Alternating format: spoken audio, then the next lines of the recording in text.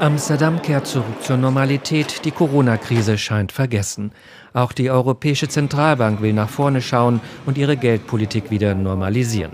Beim Treffen des EZB-Rates im Ermitage-Museum im Zentrum der niederländischen Metropole kündigte Präsidentin Lagarde heute an, die Leitzinsen im Juli das erste Mal seit elf Jahren zu erhöhen.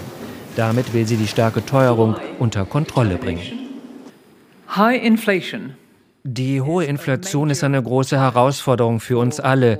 Der EZB-Rat wird sicherstellen, dass die Inflation mittelfristig wieder auf unser Ziel von 2% sinkt.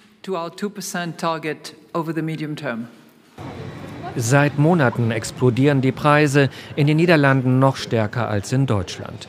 Die EZB erwartet jetzt in der Eurozone eine Inflationsrate von 6,8 Prozent, gut doppelt so hoch wie vorausgesagt.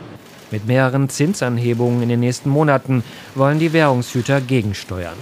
Außerdem beschloss der EZB-Rat heute, den Kauf von europäischen Anleihen endgültig zu beenden.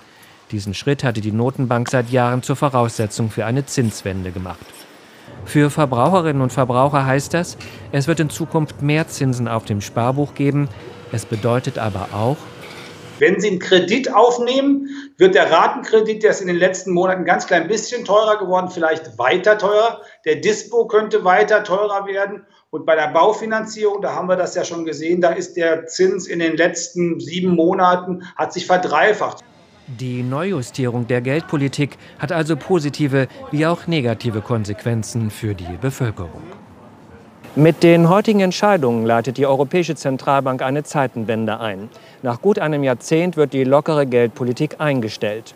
Ob die Maßnahmen noch rechtzeitig kommen, die hartnäckige Inflation in den Griff zu bekommen, muss sich aber erst noch unter Beweis stellen.